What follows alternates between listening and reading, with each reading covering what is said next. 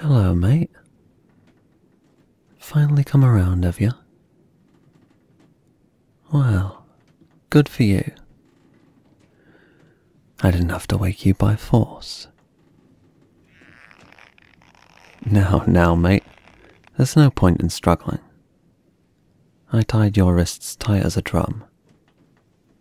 And don't bother calling for help either. The captain and the rest of the crew have made landfall on an island and are checking it out while we're on guard duty protecting the ship. Relax, mate. We're just gonna have a little chat here. Oh, I think you know damn well what I want to talk to you about. I respect the hustle, but the game's up, chum. Still playing dumb? Well, maybe this will help jog your memory. This look familiar to you? This bag is quite heavy, isn't it? I wonder what's inside. Well, these jewels don't seem like they should be in the hands of lowly crew like you, do they? Not yours, you say? Well, you can claim what you like, but your eyes tell me all I need to know. See, the quartermaster suspected some of the jewels from our latest haul had gone missing, so I did some asking round. And it turns out the gunner caught you sneaking about below deck two nights ago when you left the drinking party. He didn't think anything of it at the time, drunk as he was, but I thought I'd follow the trail here. And, lo and behold, this bag of jewels was tucked firmly down your bedside. Guilty as charged. No talking your way out of this one. What do you have to say for yourself? I told you, it's useless. It's just you stuck here with me, with no way to escape. Although, even if you could try anything, it would be very easy to figure out you are my assailant, and the captain will be sure to come up with a far more cruel punishment than I ever could. Not that I would go down so easily anyway. Believe me, there's nothing I love more than putting cocky traitors like you in their place. Oh, no one else in the crew knows about this yet. Besides the captain, of course. I had to let him know the situation, and I told him to let his trusty first mate handle it.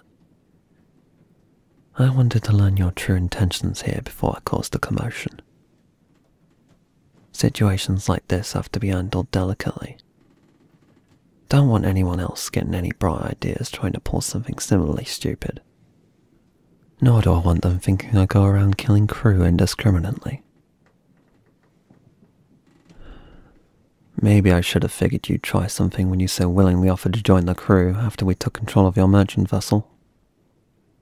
I thought you were just being sensible when you surrendered to us, but in the end you were just biding your time to make your escape. Recruits like you are all the same, only out to save your own skin. Well, you swore into our crew, and we have rules here, you know. 1. No lying to your fellow crewmates. 2. All spoils are reported to the Treasury and never claimed for oneself.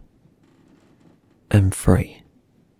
All quarrels are to be settled without violence.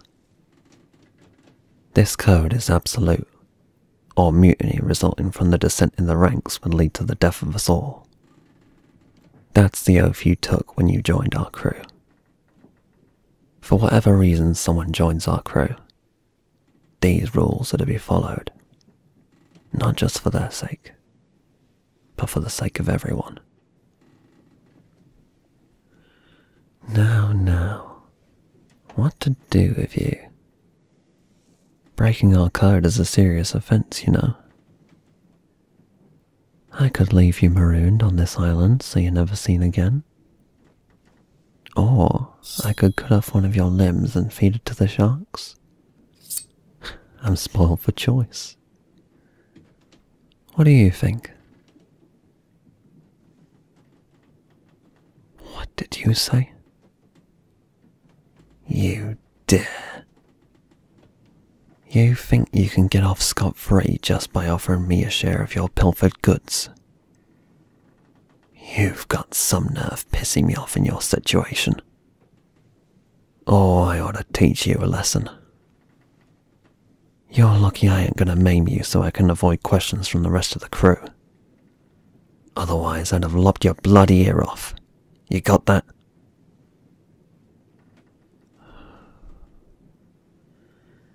You aren't the first person to have tried something like this. Stealing from the crew to line their own pockets, breaking the code for their own benefit. Every time, the captain has trusted me to keep these lowlives in line. And every time they tried to fight back or make a mockery of me, they all met the same grisly end. So, I suggest you watch your tongue before I cut it out, you little shit.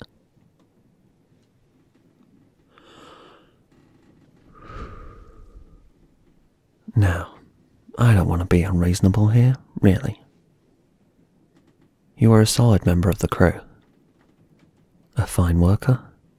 Took orders well. Never made a fuss. And you were such good fun at drinking parties, my god. You were a riot, I tell you. Honestly, I'm a little disappointed. I was taking quite a liking to you.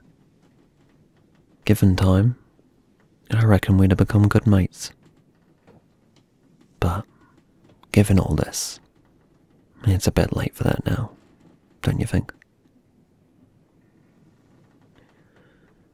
Well, how about we start with a good old eye for an eye?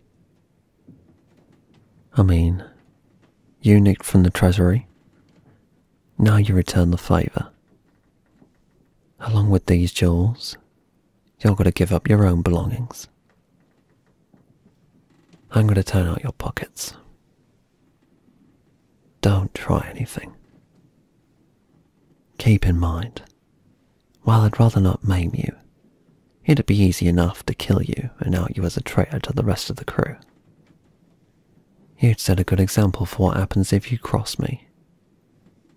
So you'd best behave. Got it?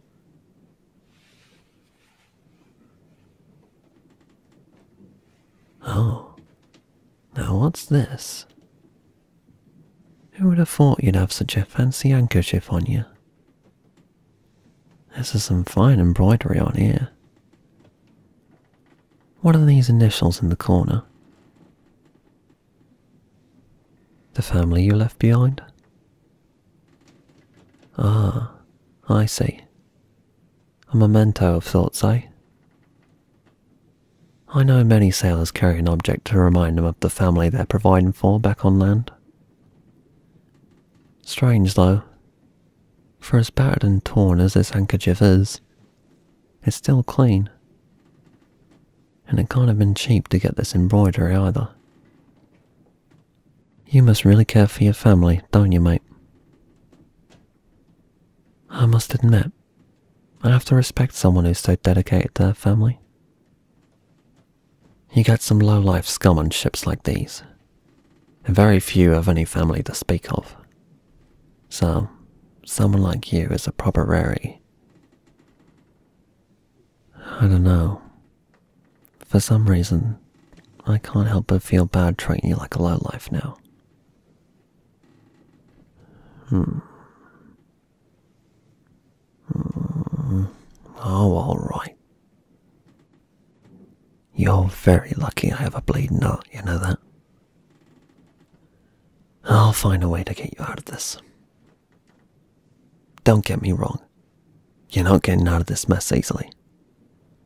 We have a code, you know? We can't bend the rules for just anyone. And I'm not exactly going to go lying to the captain either to get you off the hook. Hmm.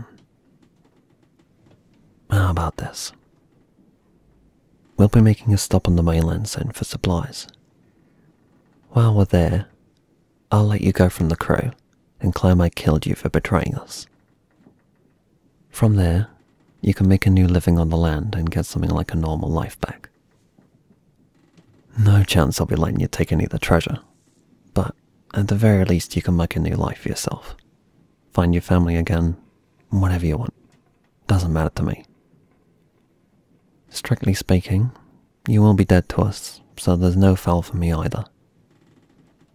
Just remember, you can't be seen at sea again. You hear me? If anyone recognizes you, especially one of our crew, they'll be held to pay. Don't thank me, you idiot. It's not like I care about you or anything. Like I said, I respect selflessness around here. And I just think it would be a waste to kill a fine mate like you. Oh, and don't let anyone else know about this either.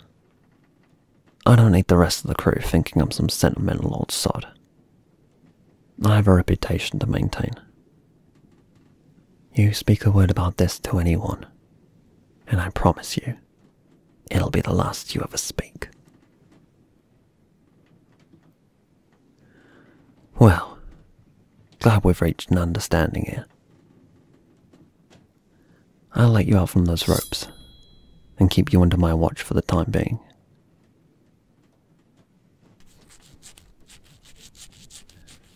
You know, maybe this wasn't meant to be, but it was nice knowing you while it lasted. Uh, don't tell anyone I told you that either, alright? Now, what do you say we keep an eye out above deck? There's a fine view from up there, I tell you.